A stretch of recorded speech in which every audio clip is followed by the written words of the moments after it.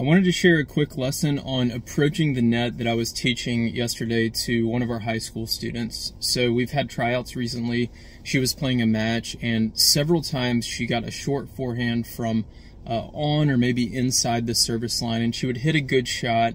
and then approach the net and the opponent would hit maybe a running backhand or something like that and it would come over high, slow over the net and she retreated and backed up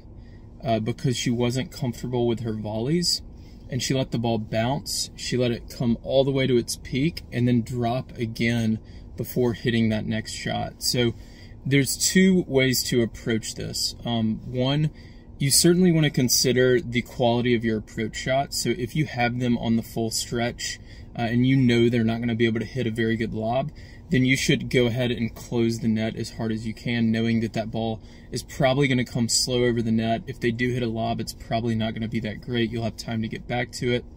Uh, the other thing you want to consider is um, if you're not as comfortable with your volleys and the approach shot wasn't quite as strong, uh, you might retreat, but still don't let that ball bounce, rise, and then drop again. And there's two reasons for that. The obvious one is it's easier to hit a ball from up high because you can hit down on it and put more pressure on your opponent versus letting it drop and you have to lift it um, and it's a lot lower percentage shot but the second reason that's a little bit less obvious is